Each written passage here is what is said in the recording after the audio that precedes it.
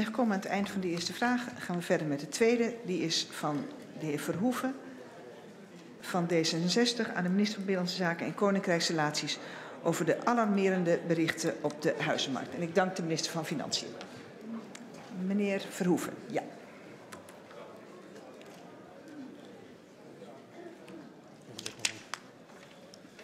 Voorzitter, dank u wel. Ik ben blij dat ik namens D66 de minister kan feliciteren. Uh, ervaren D66'ers hebben mij gemeld dat er goed met deze minister valt samen te werken. Dus leek me een goede reden om deze minister gelijk eens even goed aan de tand te voelen.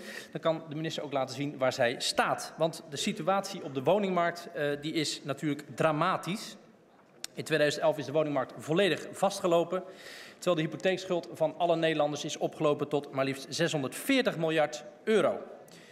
En uit cijfers uh, over het jaar 2011 bleek onder andere dat de huizenverkopen zijn gedaald met 7% en dat de huizenprijzen met 4% zijn gedaald. Het is, voorzitter, dan ook de hoogste tijd om de totale woningmarkt grondig te hervormen. En in 2011 heeft het kabinet deze kans natuurlijk uh, uh, volledig laten liggen. Door een uh, gebrek aan daadkrachtig beleid is de stagnatie op de woningmarkt eigenlijk alleen maar verergerd. Het was zelfs zo erg dat de vorige minister, die is in zijn woonvisie uh, maar tot één tijdelijke maatregel gekomen. Dat was het verlagen van de overdrachtsbelasting van 6% naar 2%. Dat was alles. Dus ik zou bijna zeggen, het is 2012. Gelukkig zijn er nu nieuwe ronde, nieuwe kansen. Met een nieuwe minister, die natuurlijk staat te popelen om wel structurele maatregelen te gaan nemen. Sterker nog, ze heeft haar integratieportefeuille heeft ze ingeleverd, zodat ze de handen volledig vrij heeft voor de woningmarkt. Dat vinden wij een heel goed voorteken. En het kabinet is natuurlijk op zoek naar echte hervormingen om de komende jaren wel miljarden te gaan besparen. Daarom heb ik twee vragen.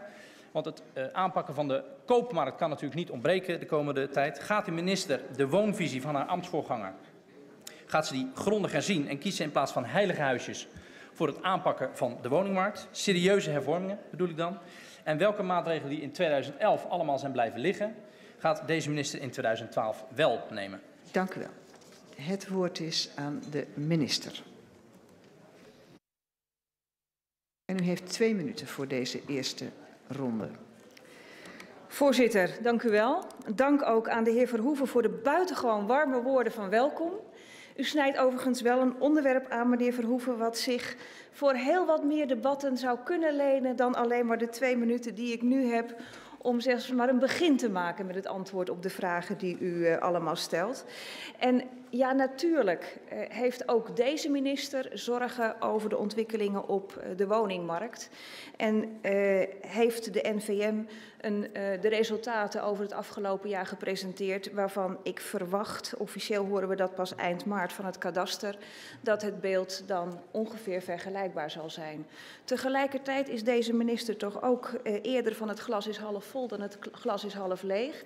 Ik constateer dat er sinds 2008, 2009 toch per maand zo ongeveer 10.000 woningen van eigenaar verwisselen. Dus het is niet zo dat de hele markt uh, is stil komen te staan.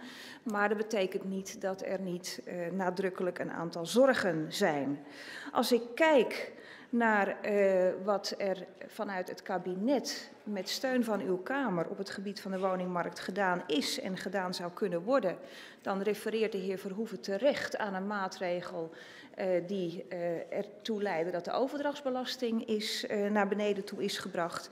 We hebben de hypotheekgarantie verlengd en dat tegen de achtergrond dat het probleem op de woningmarkt op dit moment vooral ook een probleem is van het ontbreken van vertrouwen. En uh, wat ik uh, in ieder geval mijzelf tot enige voorzichtigheid daarin ook zou willen manen, is dat dat vertrouwen van consumenten niet nog verder onder druk moet komen te staan. Tot slot, mevrouw de voorzitter, en ik uh, kan mij niet voorstellen dat de heer Verhoeven het daarmee oneens uh, zou zijn.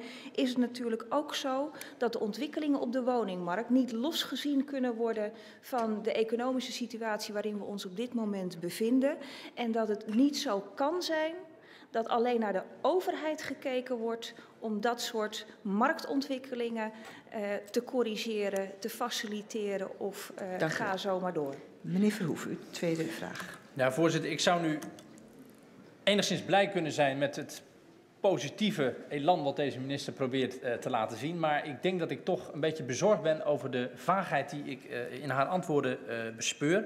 Ja, er is meer debat nodig en dat gaan we de komende maanden, de komende jaren wat mij betreft ook zeker doen. Dit is slechts een, een aftrap van, van dat debat wat mij betreft. Um, als de minister zegt van ja, het, gaat eigenlijk best wel goed op de woningmarkt. Er zijn nog steeds 10.000 woningen per maand van eigenaarwissel. Dan zeg ik dat zijn er 7.000 minder dan in de periode daarvoor per maand. Dus het is bijna gehalveerd van 200.000 naar 120.000. Dat is echt een zorgelijke stilstand. En als de minister dan zegt, ja, de overdrachtsbelasting is verlaagd en we hebben nog een paar andere tijdelijke maatregelen genomen en daarmee denken wij het vertrouwen terug te kunnen brengen, dan denk ik dat dat volstrekt onvoldoende is om het vertrouwen terug te brengen. Want vertrouwen komt alleen terug als je mensen een duidelijk beeld naar een toekomst geeft en niet zeg maar uh, aangeeft, ja, na 1 juli, dan gaat de overdrachtsbelasting wel weer omhoog of niet. Daarom de volgende vraag aan de minister. Wat gaat de minister doen na 1 juli 2012 als de termijn voor de tijdelijke maatregelen van de overdrachtsbelasting afloopt en hij dus weer naar 6% zou gaan? Gaat de minister dat voorkomen? En wanneer gaat de minister alle huizenkopers en potentiële huizenkopers in dit land daarover de nodige duidelijkheid scheppen? De minister. Eh, de heer Verhoeven, mevrouw de voorzitter, eh, vraagt eh, naar de bekende weg, om het maar even zo te zeggen. Hij weet bovendien het antwoord op zijn eigen vraag ook, want mijn voorganger heeft nadrukkelijk aangegeven dat we dit voorjaar de effecten van deze maatregel zullen bezien en op basis daarvan tot besluiten zullen komen over de vraag of dat we die overdrachtsbelasting weer omhoog moeten doen, eh, misschien nog verder zouden moeten verlagen of dat die maatregel een tijdelijk leven beschoren is geweest. Ik ga niet vooruitlopen, mevrouw de voorzitter, op de resultaten van de evaluatie die nog plaats moet vinden. Meneer Verhoeven. Voorzitter, de enige manier om huizenkopers op de woningmarkt in dit land nog enig vertrouwen, dat sleutelwoord wat ik uh, deel met deze minister, om dat nog een beetje terug te geven, is juist door wel op een gegeven moment op zaken vooruit te gaan lopen en een duidelijk beeld te gaan schetsen. In plaats van steeds maar te zeggen, we komen pas in april met duidelijkheid. Want als er in april duidelijkheid komt over een maatregel die in juli afloopt, dan geef je mensen niet de tijd die nodig is om op de woningmarkt te anticiperen. Dus ik zou tegen de minister uh, willen zeggen en haar willen oproepen om zo snel mogelijk duidelijkheid te scheppen. Vindt die minister ook dat het bijna onmogelijk is om de maatregel weer terug te draaien en weer naar 6% te gaan? Zou dat niet tot veel meer stilstand en stagnatie op de woningmarkt leiden? Graag daarop een uh, reactie. En ik ben ook wel benieuwd naar wat vindt de minister bijvoorbeeld van de plannen van de, de CDA-fractie om de hypotheekschuld weer terug te gaan dringen in dit land Dank door te zorgen dat mensen weer gaan aflossen. Dank u wel. De minister. Voorzitter, ik ben met de heer Verhoeven eens dat duidelijkheid onvoorstelbaar belangrijk is. Maar ik wil wel zekerheid hebben over het feit dat als we maatregelen treffen, dat die maatregelen effectief zijn en bijdragen aan het doel wat ons voor ogen stond. Daarom die evaluatie en daarom ga ik nu niet vooruitlopen op de resultaten van die evaluatie. Overigens spreken de feiten de heer Verhoeven toch een klein beetje tegen, want het aantal transacties wat sinds het verlagen van de overdrachtsbelasting uh, heeft plaatsgevonden, is ongeveer door de afgelopen drie jaren heen gelijk gebleven met het aantal daarvoor. Dus uh, die evaluatie naar de effectiviteit van deze maatregel is echt nodig. Dank u wel. Dan zijn we gekomen aan het eind van de tweede vraag. Ik dank de minister voor de antwoorden. En we gaan verder met de derde vraag. Oh, pardon. U wilde ik. Bent u een beetje traag, meneer Koolmees? Sorry, voorzitter. Minister, excuses. Meneer Koolmees heeft nog een vraag. Ja, ik zat zo uh, geconcentreerd te luisteren naar de antwoord van de minister. Ja, ja. Um, Hulde. ik had nog een vraag over de overdrachtsbelasting die op 1 juli uh, uh, afloopt, die tijdelijke maatregel. Sluit de minister uit, ik begrijp dat u een evaluatie wil, ik begrijp dat u uh, de effecten in, in, kaart wil brengen. Maar sluit u uit dat de overdrachtsbelasting weer terug moet naar 6%?